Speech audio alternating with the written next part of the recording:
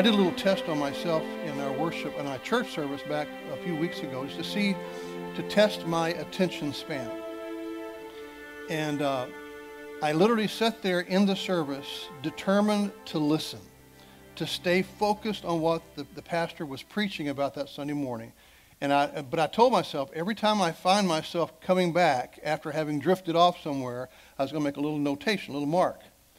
At the end of that 35, 40 minute sermon, would you believe I had over 50 times that I drifted off and came back when I was trying to listen? Now, that's a bad case of ADD. I understand that.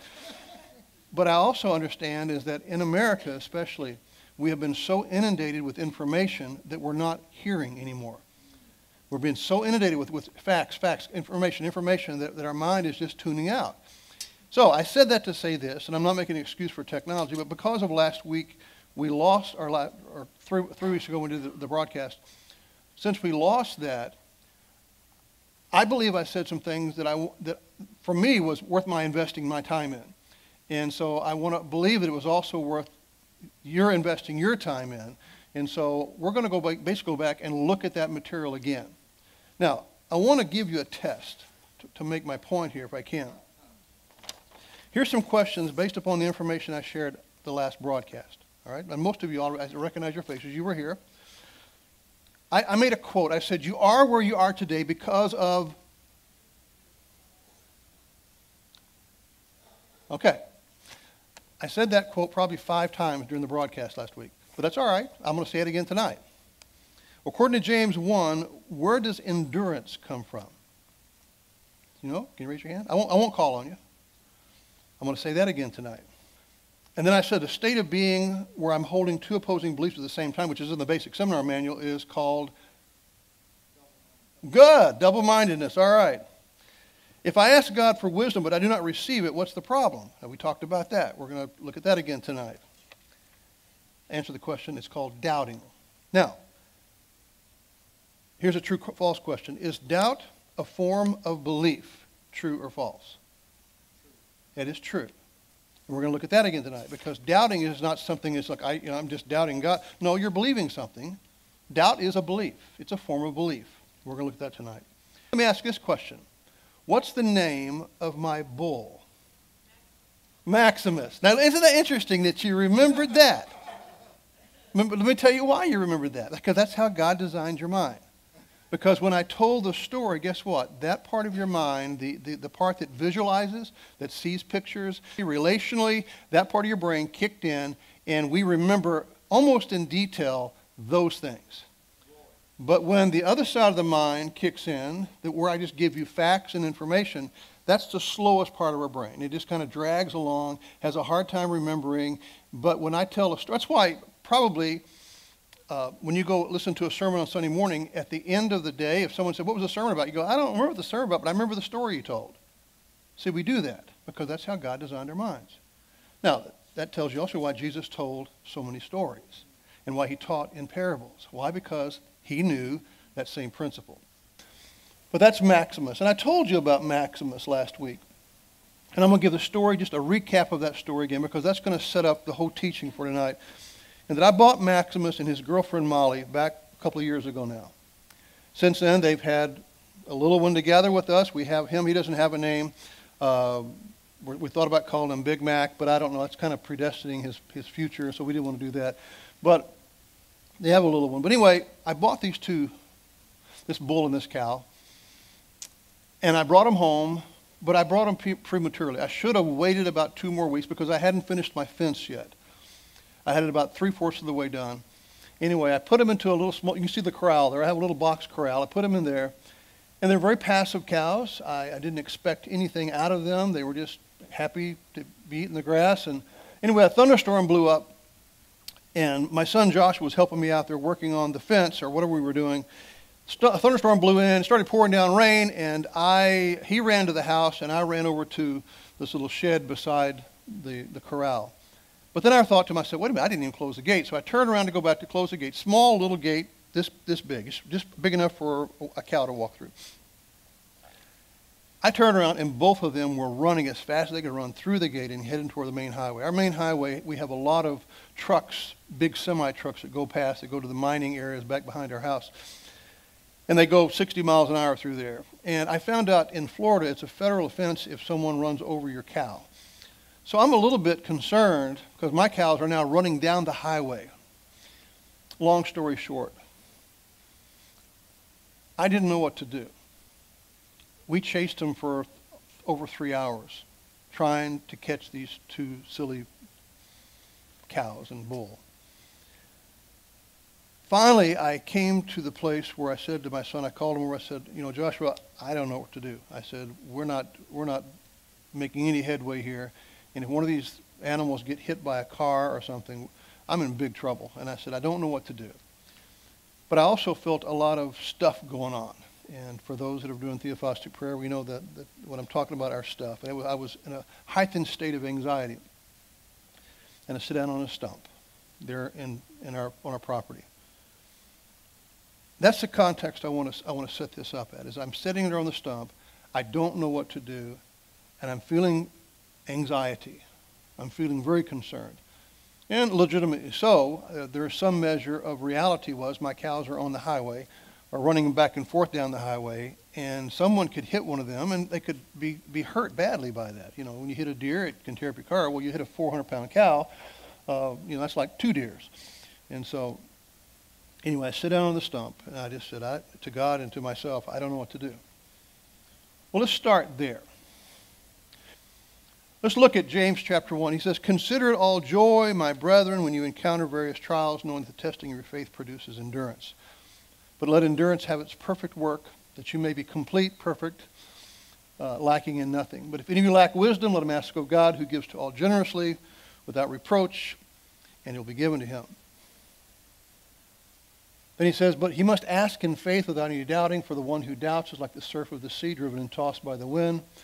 For that man ought not to expect that he will receive anything from the Lord, being double minded, unstable in all of his ways. Now, there's a, a nice little chunk of information that James has given here. And what I want to do is use a kind of a, a style of Bible study in which I'm just going to take the key words.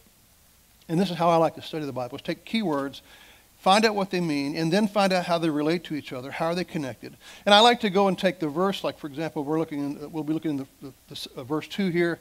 Grab this verse. How does it compare to before that paragraph? How does it relate to what's happening later on? And I try to find the bigger picture of what the writer is trying to say. But there's three words in that first part of that verse where he says, "Consider it all joy, my brethren, when you encounter various trials, knowing that the testing of your faith produces endurance." Three words: consider, when, and various. First of all, he says, consider it joy. Now, is this your reaction, your response when crisis comes into your life? Is that the typical reaction that you have when you walk in, if tonight, tomorrow, next week, something comes down the pike and it's a, a troublesome moment in your life? What is your emotional response? Not what do you muster up, but what is your emotional response in that moment? Well, it should be joy. And we're going to look at the reason why it should be. If it's not joy, then there's an ex- explainable reason for that. Now, I think one of the one of the ways that sometimes that's addressed is well, it's because you have sin in your life, or because you don't believe God, or because of. The, I think there, it can go deeper than that. Well, you may not feel joy, but you will feel something. And in theophostic prayer, one of the principles we know what it is because we've memorized it well is what we feel. What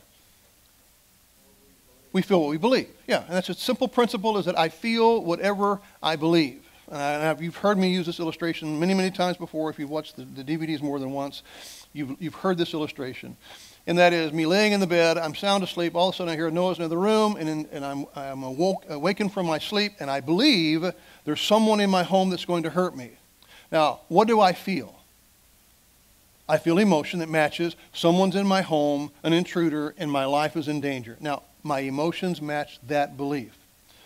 I walk over the door, open the door, and I look at the door. What do I see? You heard the illustration. It's my dog. He knocked over the garbage. And now I go, oh, why did I just do that? Because my belief just changed from I'm going to die to the dog's going to die.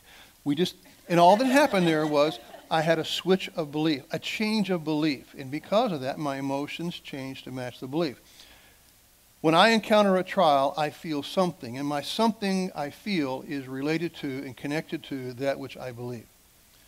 And so when I, if my crisis comes my way and I don't feel joy, it's because I believe something that's producing emotion that's contrary to what I should believe that would produce joy. Now, the answer is, okay, I got to go memorize more scripture. That's not the answer. I had this whole passage here completely memorized the day I was sitting on the stump.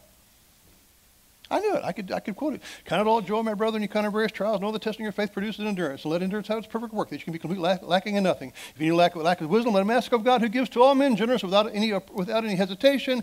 But let him ask in faith, because he who doubts is like a wave of the sea driven and tossed by the wind. Let that man not expect to receive anything from the Lord. Being a double-minded man, unstable in all his ways. Bingo, got it. I'm sitting on the stump. I'm filled with anxiety. So, what's wrong? I had the truth. It's in my head. I got it memorized. Early in my Christian life, especially, I memorized a lot of scripture because, and that's an important thing to do. But memorizing the scripture basically makes you smarter in the scripture. But it's no guarantee of transformation. We're going to look at what is the guarantee of transformation. Next word is when you encounter. Now, when is not a hypothetical statement. He's not saying, you know, if suppose possibly out there somewhere you encountered a trial. No, it's not about that. It's when, as in you can expect it. It is coming. As a matter of fact, there is a three points in time. You are either in one of three points in time. Right now, you're in the midst of a crisis, possibly. Maybe not. Or you just came out of one. Or, here's the good news you're getting ready to go into one. You're in one of those three places. You're not through with crisis. You're either in one, coming out of one, going into one. When you encounter various trials. Now, the next word looking at is various. This is good. God provides variety. Isn't it good isn't it good that when you got up this morning, you didn't have to say, okay, you know what, I'm going to have the same crisis again today that I've had for. No, it's great. You wake up and say, I wonder what's going to go wrong today. You know, what's the variety that God is going to provide me? You know, will it be a hurricane today or will it be a tornado? Maybe not, maybe a scorching wind. No, maybe it's good. See, you don't know. God has provided you with a variety. Isn't that good news? Well, Sort of. Depends on how you frame it. It depends on how you view it. It depends on how you're living your life. Now, if your life is just get through the crisis, and that's what you're focused on is somehow just to endure it and get to the other side, no, life is miserable. But if, as we're going to look at these principles, if indeed the crisis is producing something in us, then it becomes joyful. When you know experientially that reality. Let's talk about some vain attempts to uh, in people trying to find joy. I was raised in a very cons- conservative and almost legalistic religious kind of community of people, church. And I was kind of taught the idea that, uh, that if you don't have joy, then you just need to praise God anyway. That was kind of a slogan back then, praise the Lord anyway, you know. And somehow just doing that would produce that feeling, that joy in your life. We can attempt to override our negative emotions and choose to rejoice as an act of obedience. And that's kind of what I was taught is that, you know, Ed, if you don't have joy in your life, it's because you're just choosing not to rejoice in the Lord. Just choose. Just, just tell yourself. Just say the word. You know, get up and just jump up and down. Do something to bring. In a minute, we're going to find out why that is spiritually impossible. We can, through self determination and willpower, try to act our way into a new way of feeling. I learned this thought here in seminary back 100 years ago in one of my Christian counseling classes. Had a professor who came up, I forget the name of the therapy that he developed, but one of his principles was help people to learn to, to act their way into a new way of feeling. Is that feelings can be changed by simply acting differently. Yeah, you know what? That works for a little while, but at some point you get tired of acting. At some point you burn out performing, and then all of a sudden you get overwhelmed by that whatever it was you were trying to, to, to, to, to get rid of. Much of what we do that we call spiritual, any lost person could do if he just set his mind to doing it. Now, you've heard this quote before. I mean, you've watched the DVDs, you've read the manuals. But you know, sometimes we pride ourselves spiritually in how high we can jump in, in our performance. And the truth of the matter is, There's very little that we do that we call spiritual in the Christian walk that a lost person couldn't do if he just set his mind to it. Seriously. I mean, what is it that you're doing that a lost guy couldn't do if he just decided to really try hard to do it? Well, see, suddenly that says, okay, well, then what I'm doing is not spiritual anymore. Or it's not anything that a lost person couldn't do. Well, see, that Christianity is the only religion, if you want to use that word, in the world that's not based upon performance. All the others are. All the others have a standard by which you're striving to attain, and they have certain steps to get there. They call it different things. But the problem is, is that much of what's practiced in Christianity is that. But yet Christianity is about Christ in me. Paul says it's no longer I that live, but Christ who lives within me. And the life that I live in the flesh, I now live by faith in the Son of God. You know, it talks about, about the, allowing the Holy Spirit, the, Christ, the presence of Christ to live his life through us. Uh, Jesus said very clearly in the Gospels, he said, I know you're tired, I know you're weary, I know you're worn out. You've been trying to keep the law, and you have failed utterly. And all of you that are weak and heavy laden and worn out in this old covenant, come unto me, and I will give you what? More work to do? What do you say? Rest. I'll give you rest.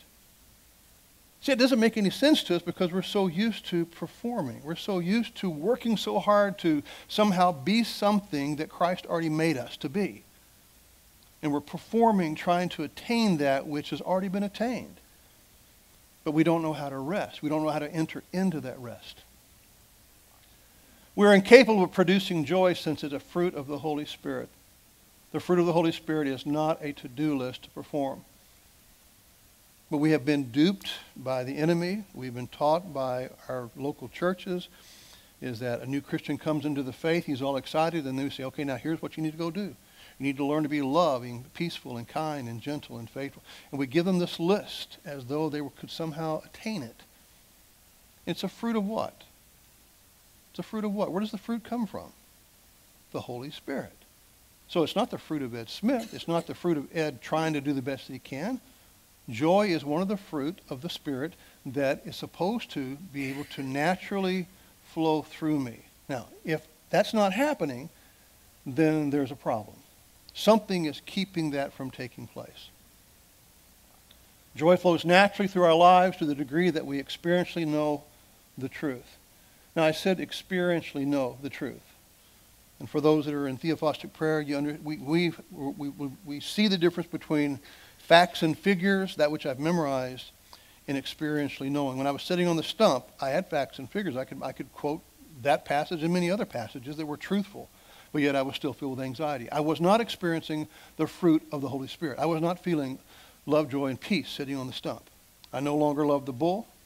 I did not have peace, and I didn't have joy. I mean, it was gone. All I had was just anxiety, and I wish I'd never bought those stupid cows. You know, that's where I was at on the stump.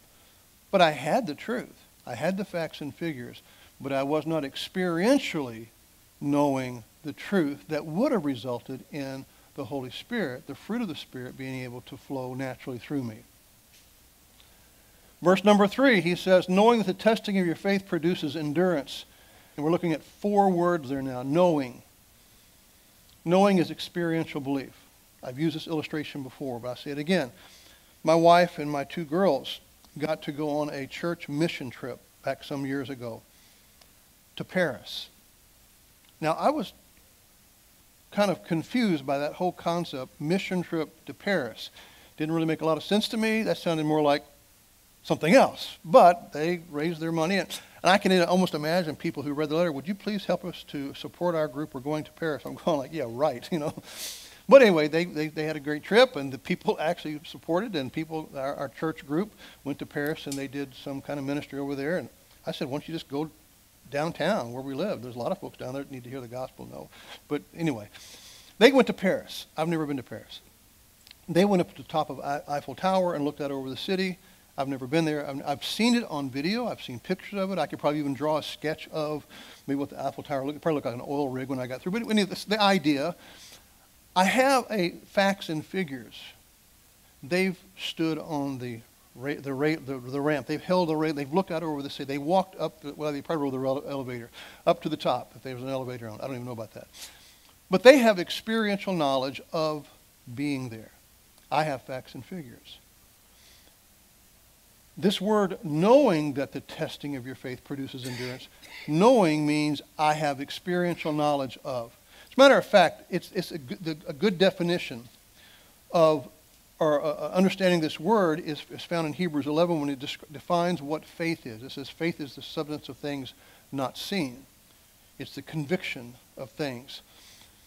When I, when I have assurance and conviction, I operate in faith. That's a level of belief that is experientially knowing something. When I know something, then my emotions will match that knowing. When I quote James chapter 1, verses 2 through whatever, that doesn't mean that I know it. Because if my emotions are anxious and worried and all of that, then my knowing is coming, is producing those negative emotions. Knowing is the essence of belief. It's the source of our feelings. And joy is the outcome of knowing the truth. So a simple test is this. Whatever I feel is indicating or exposing what I know. Not what I've memorized, but what I know. And here's something you can do as well. You can take the Word of God, the Scripture, uh, maybe a new way for you to start reading it. You can go to the Scripture and find a passage that's very familiar to you and, and read it to yourself. Read it out loud and then ask yourself, does this passage I just read feel true to me? Not is it true? Of course it's true. Does it feel true to me. Because my, someone goes, well, Ed, you should just rain on your feelings, deny your feelings, block them out, and just choose to well, great, go ahead and do it that way. I did it for a, long, a lot of years that way. I think your emotions are, are exposing something. I think your emotions are revealing something. And so if I read the passage and it doesn't feel true, then it's because I believe something else. I know something else. I've memorized this. Or I can read this and say, I believe this because it's God's word. But if it doesn't feel true, then that is an indication that it's not your core belief. It's just what you've learned. It's what you've memorized. Because your emotions reflect what you know, what you believe. The next word is testing. Whatever is on the inside will come out during the trial of testing. Now, this word testing here that James is using is the same word that would, be, would describe the, the refiner who has built a fire, he has a pot of gold, for example, or a precious metal that he's melting down. That's the picture here, is a testing. The trials and the crises that we face are a part of, of the refinement process that exposes our core belief, providing us an opportunity to know truth. When we find ourselves in the midst of crisis, the goal is not to get through it, but rather to get to it. There's a little, little uh, play on words there. But the refiner is refining his gold. That is the analogy that James is using about our faith. The refiner is refining the faith. And if my faith needs to be refined, what does that say about my faith? It says there's something not pure in my faith. Now, that word there, faith, and we'll learn in a minute that faith is basically the same word as belief. It's pistos in Greek, and it simply means belief. It can mean, uh, depending on the context of the scripture, it can mean different things. But in this context here, it's a faith that needs to be refined. It's a belief system that needs to be refined. And the, and the, the, the refiner is purifying it. What we tend to do in the midst of the crisis is we're trying to figure out how do I get through this thing? How do I endure this thing? As opposed to how do I get to what it is in me that is causing the necessity for this refinement? What is it in me that I believe that is contrary to the truth? Now, we can choose to reframe the moment as an opportunity for identifying the root cause, belief, of the negative reaction rather than just enduring the moment. And we're going to talk at the very end of this presentation now, we're going to talk about reframing the moment. Another word in that list of words is faith. Faith is the focus of the testing. Faith is the essence of belief. And the fact that our faith needs to be refined or tested says something about it. And then I want to spend a little time right here. The word endurance. Did you notice in that passage it said this, that the testing of our faith produces endurance? It doesn't say that, that we need endurance in order to get through the testing. It says that the testing of our faith, or the refining, the, once again, the picture is the refiner's pot of, of gold that's not pure. and he's heating it up and he's melting it down. And the outcome of this refining process is endurance. It's not endurance that we need to get through it. It's endurance that we get because we've passed through it. Endurance is the outcome of the testing, not the means of getting through it. Here's that quote again. You are where you are today because you made it through every trial that you thought you would never survive. I, I want you to, to burn this into your mind. Because there has been nothing that's happened to you up to this point that you did not survive. There's nothing that you went through, and, and some of us have been through some tough stuff, but nothing that you went through did you not make it through. Now, everyone in this room got through their event in some form or fashion. And you know what? The, the lost man out there that has no concept of God, has no relationship with God, matter of fact, maybe an atheist and even hate God, you know what? He was just as successful as you were getting through the trials. He got through too. You say, well, you know, we need to pray that God will give us endurance to get. No, you don't. The only trial you won't survive is the one that you die from. All the others you will get through. If you do nothing but just go to bed and go to sleep and sleep it off. You're going to get through the trial. So that's not the goal to get through. You will get through the trial. Now, the difference between you and that lost guy is you have the opportunity to be refined by the trial. You have the opportunity to have that which is lacking purity in you to be burned off, to be changed into truth. You have that. And so you can pass through the same trial the lost guy can pass through. He comes out, same place you started. He's just like, well, I'm sure glad I got through that. You know, thank, thank, uh, thank God and Jack Daniels, we know we made it, you know. And so he got through ever how he got through. But he landed in the same place, whereas we have the opportunity to be refined by our trial. What is endurance? The Greek word simply means to remain under, the ability to sit still, it is very close, if not even the same word, as the fruit of the Holy Spirit, patience. It simply means the ability, and it's once again, it's not you enduring and bearing down and, and trying real hard to get through it. That's not what it means. It means you, the ability to sit there naturally and calmly and not be moved by the crisis, but being in that state of rest. That's the word. It's a calm assurance. It's the ability to sit still. Now, that's important because until you get to that place, you don't get wisdom. We're going to look at that in a minute. You, God can't speak to you. You won't hear. He says, Let not that man expect to receive anything of the Lord. He's double minded, and unstable in all of his ways. And so until you get to that place where you can calmly sit there in a state of peace and rest, you miss all the other. God wants to do the maturing, the character building, the, the growing and the maturing of you when you can sit still and allow Him to do that. When we can't sit still, we're all over the place emotionally. We're, we're driven and tossed by the wind. We're unstable in all of our ways. And in a sense, we are hindering what God is trying to accomplish. Endurance is the experiential awareness and state of being that provides the peaceful and calm assurance that God is all that he is said to be and that I am held fast in his hands. Endurance is not something that you do but rather it's something that you possess. It is not produced by self effort or strong determination. Rather, it is an outcome of the inner working of God's Spirit. It is a fruit of the Holy Spirit, as in patience is a fruit of the Holy Spirit. And patience is not something I do. Now, I was taught that. I was taught that you just need to be more patient. Well, all right. Now, how do you do that? Well, I was taught that it was a, an act of self control. Well, here's a problem self control is also a fruit of the Holy Spirit. What they were saying is you need to learn to control your behavior.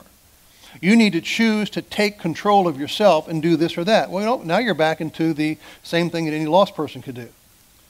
There's a lot of lost people who are, have much more self control, control behavior than I do. I mean, there's guys out there climbing Mount Everest that have this discipline and fortitude or where does that come from? Now, some of them were Christians, some of them were not. So we can't equate that.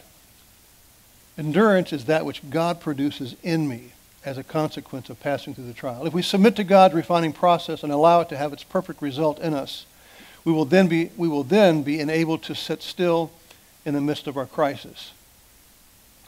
Let endurance have its perfect result, that you may be perfect, complete, lacking in nothing. Now that's an interesting passage right there. Is that if we can ever get to the place where we can sit still in that calm, confident place, then somehow in that context, we move into, and the word, the word there perfect is the word mature. The mature result, that you may be mature, complete, lacking in nothing.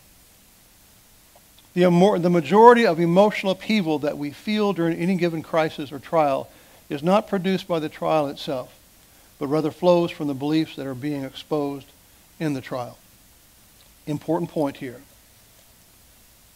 In the midst of your crisis, you're going to feel something.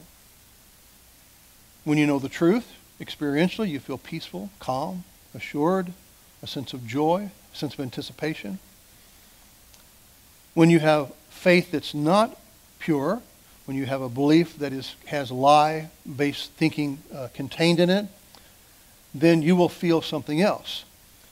I said to a friend of mine not too long ago who was going through a, a crisis, I said, you know, the pain that you're feeling right now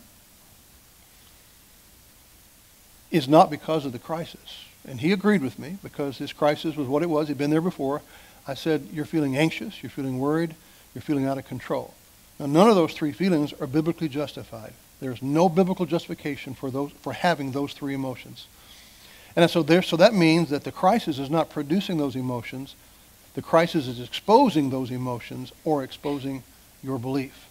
And he agreed with that. And we did some prayer ministry, and God brought truth into his mind in those places. And then lo and behold, the crisis was still going on, but he looked at it and said, you know, I don't feel anything but the, the peace and, and, and joy and expectation.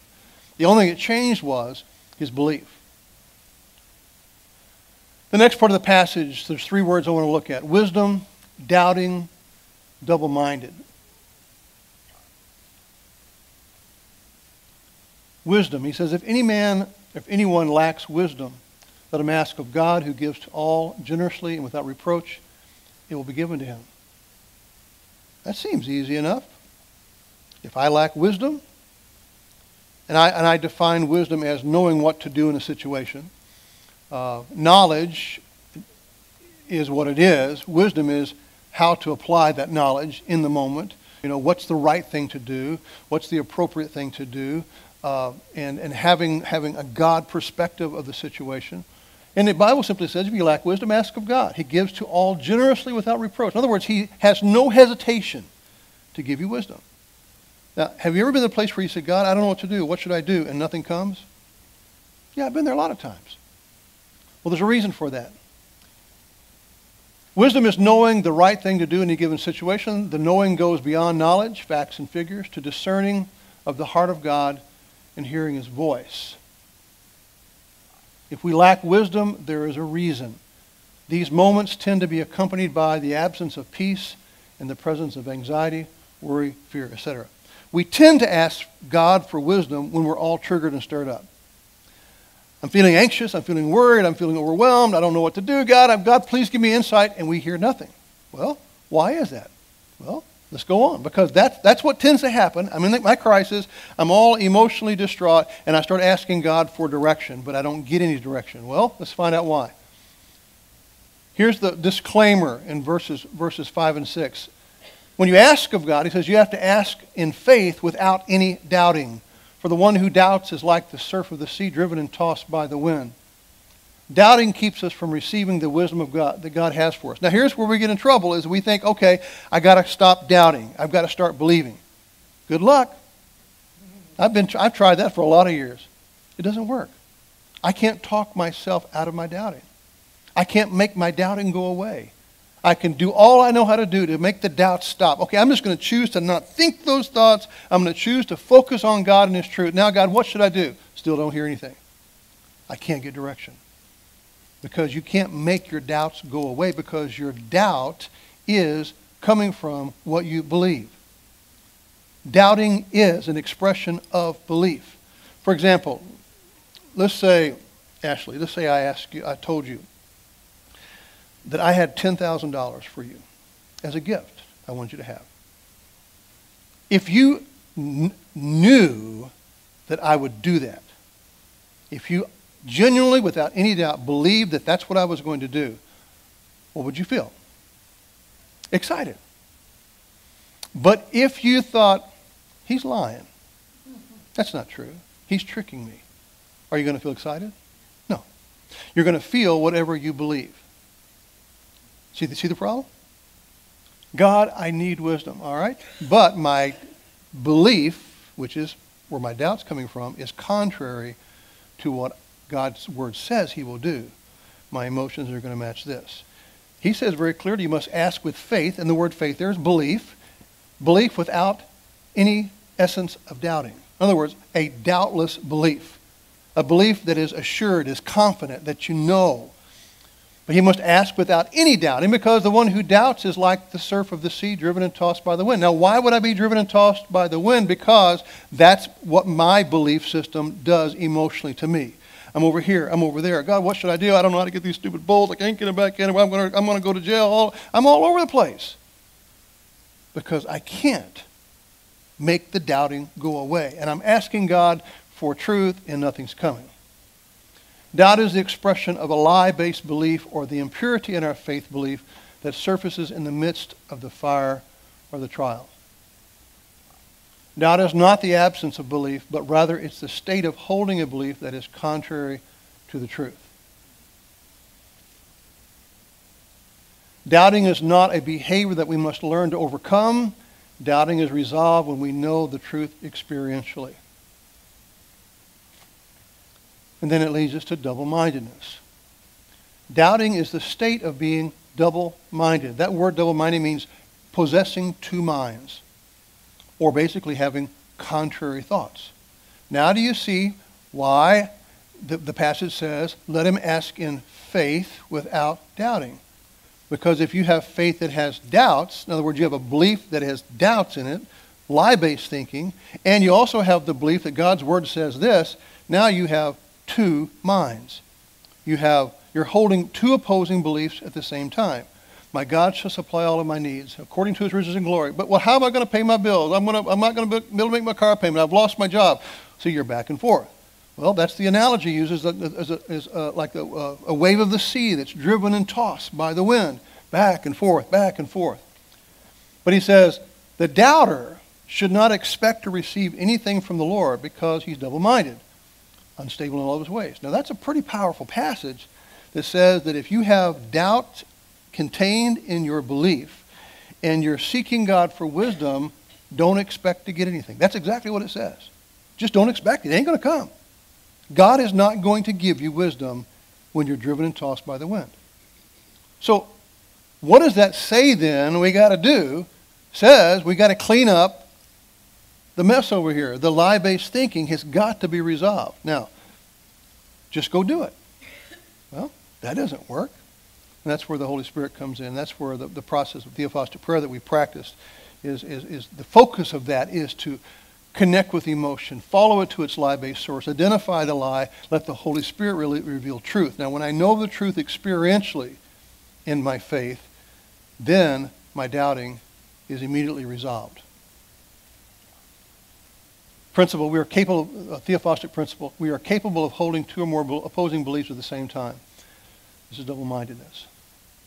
When we are double minded, it is impossible to hear or receive wisdom from God. For that man should not expect to receive anything from the Lord. Being double minded impacts and influences every area of our life. He, he who doubts is like the, the surf of the sea, driven and tossed by the wind, unstable in all of his ways.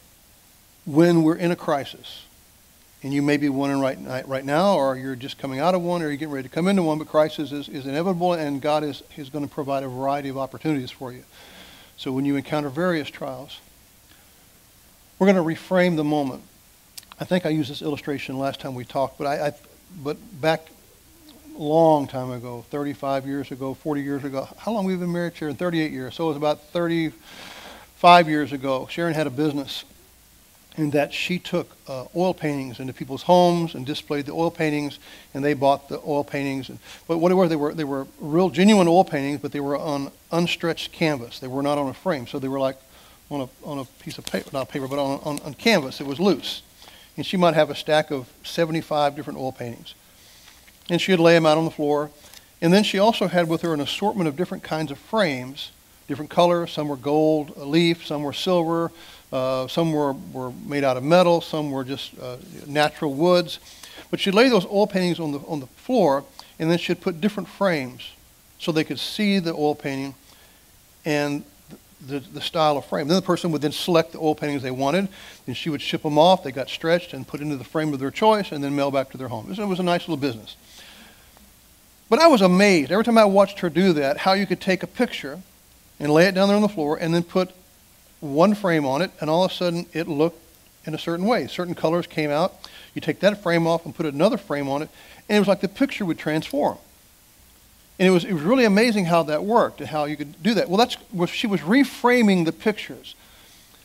When we encounter a crisis, what do we do? What, we, what can we do? Here's, here's the, the application. We can choose to reframe the crisis.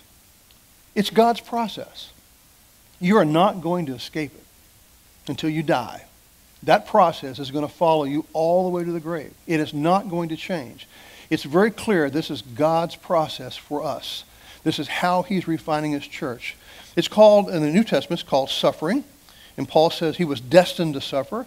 Matter of fact, I think it was uh, Peter that said, Let those who suffer according to the will of God entrust their souls to a faithful Creator in doing what is right. So there it is, suffering according to God's will. You know, we, we sometimes ask God, why is this happening? Well, we don't need to ask that question. The Bible is very clear why it's happening.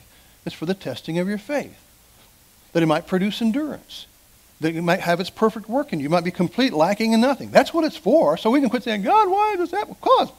It's God's process. Uh, I'm, I'm writing, uh, you know about that, the book that I'm writing on spiritual warfare that, that's, that's basically overtaken me. It's been eight years long. But anyway, one of the, one of the chapters, and I talk about this whole concept of refinement. And uh, there's no escaping it. You know, we can blame it on the devil. You know, I'm being oppressed by the devil and all this mess. But the reality is, no, you're not. God really is involved. He really is very in tune. Life is just not happening around you. There's no indication of that in Scripture anywhere. It's very orchestrated. I even there's a passage I read this week that is such a clear example of how God is accomplishing his purpose in the context of a world in which God gave evil men and demons and devils free will to do what they want, but yet God still accomplishes this purpose right on time. And that's the, that's the, the, the, the, the example of Jesus Christ on the cross. And you see it in, in Acts, I think around chapter 4, where the church prays a prayer, basically says this, is that God, Herod and Pontius Pilate and the evil Jews and so forth, they all schemed together to crucify Christ according to the predestined time that you set forth. In other words, right at the moment in which you intended for Jesus to die on the cross, they accomplished it. And look at it. There's how God does what he does. Is that, yeah, God said, go do it any way you want to, ever how you want to, and when you do it, you will accomplish it exactly the way I've already predestined is going to take place. Now, he didn't make them do it. He didn't violate their will. He, he just said, you have free will to do what you want to, because, but his omnipotence allows God to, in that context, always bring about his intended purpose. And that's why Paul says in the one passage where he says, if God be for us, who can be against us? What he's saying is, God is for you. He is doing something in you. And no matter what they do to you, it becomes for you. Because if God is for you, who can be against you? There's nothing that can happen to you that's not for you. Now, does that feel true to us? See, probably not. But it is true. And because it doesn't feel true, it tells us we believe something contrary to what God's word said. If God be for you, who can be against you? That's the truth. Now we got to get to that experientially. Once you drop into that experientially, then no matter what happens to you, you know experientially God is for me. So this is for me, and I can have joy in the midst of it. If I know that experientially. If I don't know it experientially, I'm going to be continually combating my doubting belief over here, saying, yeah, that's what the Bible says, but, you know, this is what's really going on. Oh, my gosh. I'm, and you're driven and tossed by the wind. You're going to reassess your feelings, slow things down, choose to feel what you feel. Choose not to self-medicate, blame others or, or your circumstance, or play the victim. What I'm giving you things are things that you can do. You have the choice to reframe the crisis. You have the choice to slow it down and choose to feel what you feel. You have that choice. No one, no one can keep you from that. You have the choice to stop doing things to make your pain go away, to whatever it is, whether it's going to the refrigerator when you're not hungry, or whatever it is you do to make your pain go away. you can say, I'm not going to do that. I'm going to stop blaming my spouse or my circumstance. I'm going to quit playing the victim, and I'm going to choose to identify what this emotion's about. You can recognize the source, recognize that the pain is coming from belief, identify and own what has been exposed. You can do that. Anybody can do that. Lost people, saved people can do what I just gave you there. It's, it's something that's not spiritually uh, uh, required. You can just do that. And that's the good news is that we do have choices in the process. I can choose to reframe, I can choose to own, and I can choose to recognize the source. I can choose to raise the question. This is an important question. Why am I doing what I'm doing? What is behind my behavior? Is there some emotion going on here that is motivating me to make the decisions that I'm making? Now, so often, the question, this question needs to be asked when we do the good things that we do. Because so often the good things that we do are motivated as an attempt to appease or pacify the anxiety, the worry, the stress, the feelings of abandonment, the feelings of being rejected, not accepted, not feeling whatever. We tend to do good things in order to compensate for that. The, tr- the pastor asked for a volunteer, or whatever, and all of a sudden you feel this anxiety. I'll, I'll do it, I'll do it. Why did, why did you just volunteer? What was the motivation? What was the emotion behind that act? And then follow that emotion back to what was the belief that caused that feeling that caused me then to choose to move in that direction. And I think you'll be surprised how much of what we do that's good is driven by our pain. We can request wisdom. If any man lacketh wisdom, what do you do? He ask of God. Now, the problem with asking God is if you ask with any doubting, you don't get anything. I'm sitting on that stump. My cows are still out by the road. And I mean, you're saying, well, surely you could have caught them. You don't understand. These are not normal cows. They really aren't normal cows. I mean, a normal cow is big and, and they're not that fat. These, these are, they're called miniatures. That bull picture, the bull, Maximus is only about this tall. He's only about this tall. He stands about right here to me. He's got a little hump on him, but he's about right here. Now, he, he weighs 350 pounds, and so he's still a bull. It's kind of like a linebacker with horns. I mean, he really is uh, just because he's little doesn't mean, oh, he's just a little bull. No, he's still a bull. And I, when I go out there, I still walk up to him and, how you doing? What's going on here? And I can tell. I've been with him now for two years. I can tell pretty much his attitude. And, and if he, he's real clear, if I'm walking up and he's not in a good mood, he'll do this. Now, what he's saying to me is, don't mess with me. Now, if a 350 pound linebacker with horns said, don't mess with me, I'm not going to mess with him. That'd be stupid. Okay, same thing with this guy. Let's say, you know what? have your mood. Well, I'll talk to you. Now, if he's in a good mood, he'll walk over to me. He'll drop his head down and walk up and usually bump against my leg and he'll start licking my pants leg. And what he wants to do is he wants me to scratch under his, his neck and, and then he'll hold his head way back and his eyeballs roll back in his head. And whatever that he really likes that, you know. But I can tell when we, we, we have an understanding. But with this bull, the reason I couldn't catch them is they are like little deer. They're so fast and they, they run real quick. You can't get close to them because they're not like big cows. They're like little cows, uh, like, like, like a wild deer. Anyway, so I, I, am sitting on the stump. I didn't know what to do. I tried to catch them. I even said to Joshua, I said, you know what, son?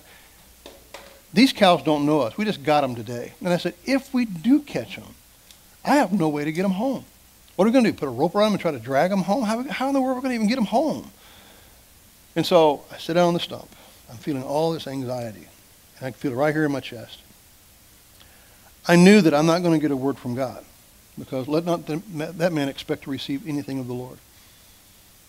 I just got quiet, began to focus on the anxiety. And guess what? In those who are doing theophostic prayer, no surprises.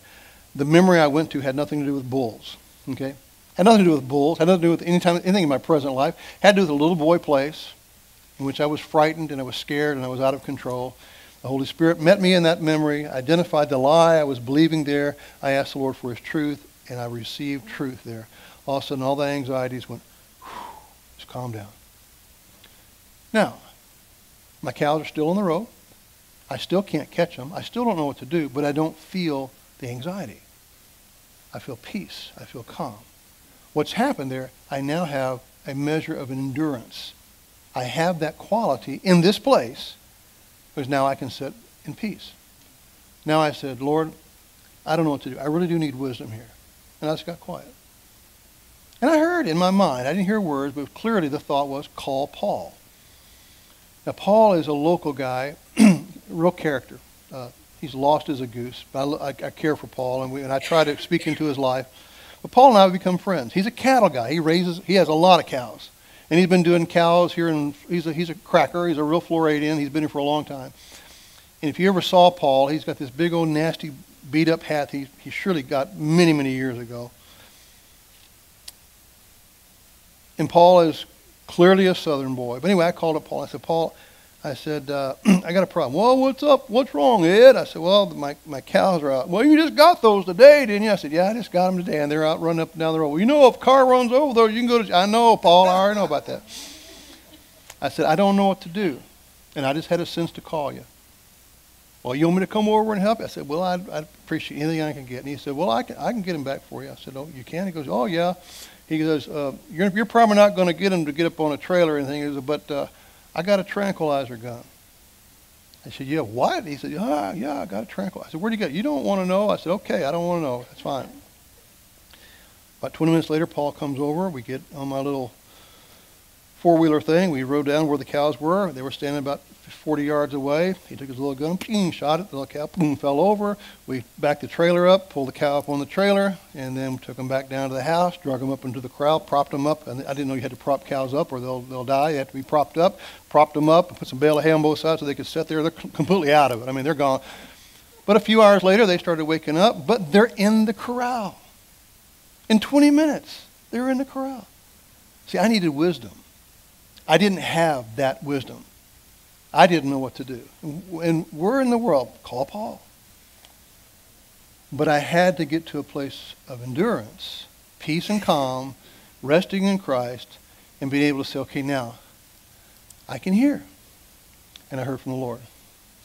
When you're at peace, you can ask for wisdom and you can hear. I want, I want to give you one thing before we, we, we finish up tonight's talk, and that's this. Here's something I do. Nothing big deal. People often are, are, are, I think, disappointed in my, in my spiritual discipline. I'm not a very spiritual discipline guy. I never have been. You know, I'm not the guy that gets up at 5 in the morning and prays and, and, and reads the Bible for four hours. I never have done that. I've, I've used to try to do that. That never has worked.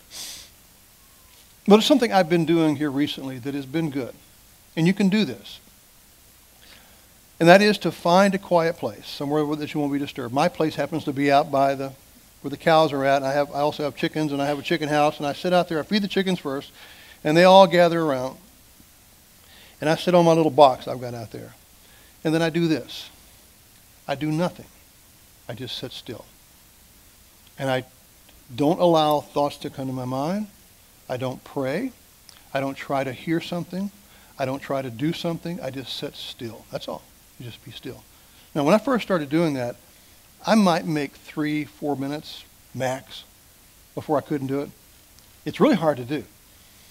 I'm up to about 15 minutes now where I can just sit there and I can be quiet and I can just be still.